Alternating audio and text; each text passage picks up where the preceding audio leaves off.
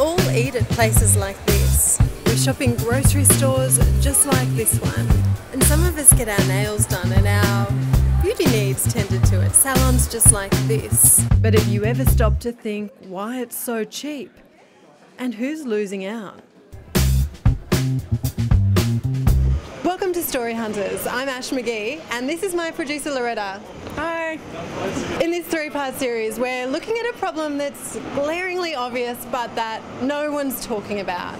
How we, you and I, are benefiting off the cheap labour of international students.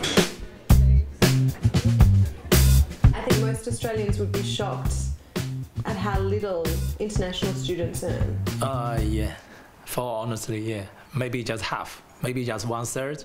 I met Kenny by chance a couple of weeks ago when he picked me up in his Uber and we just got chatting about what it's like to be an international student. Because when I was working there, like eight dollars an hour. Yeah, but Eight so- dollars an hour. yeah, uh, I doing the waiter.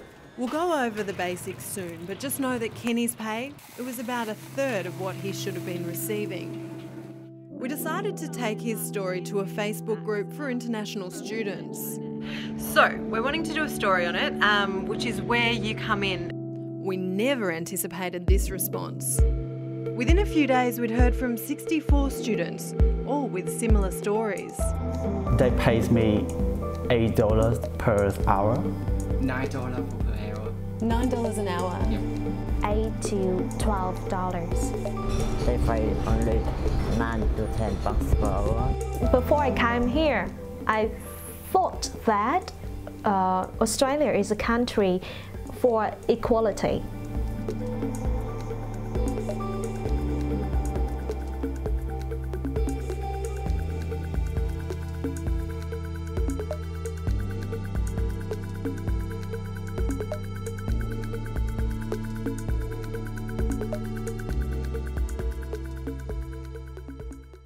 What made you decide to talk to us about it?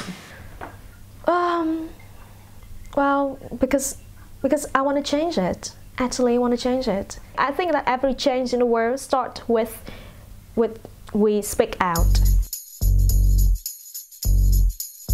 If you're 21 years or older, then the minimum casual wage is $22 an hour. There are about half a million international students studying in Australia right now. And each year, they contribute nearly $20 billion to our economy. Back on Facebook, we polled the students about how much they earn. 500 of them responded, and two thirds said they were being underpaid. It's not a scientific study, but still, two thirds. This isn't a few dodgy bosses or a couple of disgruntled students. Everyone we've spoken to says it's the norm.